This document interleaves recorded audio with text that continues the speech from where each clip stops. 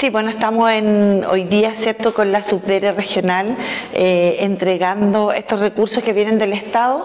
Este es un programa, ¿cierto?, de tenencia responsable eh, para eh, animales de compañía.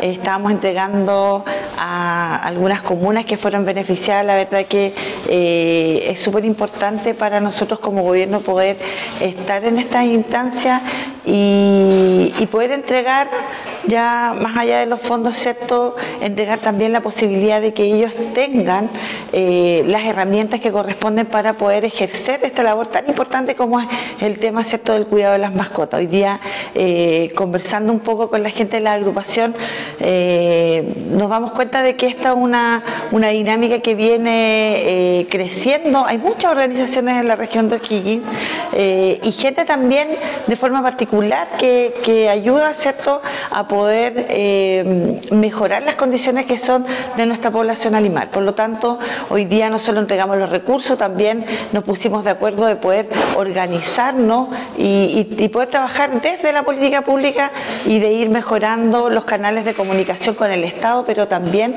ayudando a que ellos puedan eh, de alguna forma mejorar eh, el trabajo que hacen tan importante y tan valorado en nuestra comunidad con nuestros animales. Eh, bueno, eh, como Subdere eh, es el único fondo que trabajamos nosotros con organizaciones formales animalistas. Y es un fondo que donde las ustedes me dirán, donde las organizaciones presentan diversos proyectos. Y en este a fines del año 2023 salieron cinco organizaciones beneficiadas en nuestra región, tres de la comuna de Rancagua, una de la comuna de Granero y una de San Vicente Tahuatahua, con diversos proyectos como esterilización, educación y estamos muy contentos de, hoy día poder habernos reunido, haber hecho este pequeño encuentro, conversado, eh, conocer un poco más de estas organizaciones y eh, darle las gracias, darle las gracias por su labor voluntaria por eh, su dedicación con los animales de compañía, porque es, tiempo de ellos, eh, muchas veces recursos propios, y felicitarlos por haberse ganado este, estos concursos que, van en ayuda de, felinos y caninos. Con este proyecto vamos a poder acceder a esterilizar, que es esterilizaciones, eh, perros y gatos de abandonados, y de gente de sectores vulnerables de la comuna de Rancagua, por ahí orientado.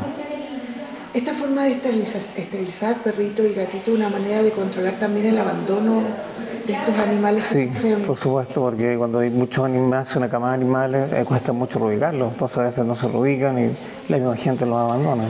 Por lo tanto, una labor social sumamente importante. Mucho, sí, se evita mucho dolor que trae el abandono y el maltrato de los animales, sobre todo de calle, que nadie los puede eh, ayudar a que no sigan teniendo animales, sigan peleando. Muchas gracias. Bien, gracias.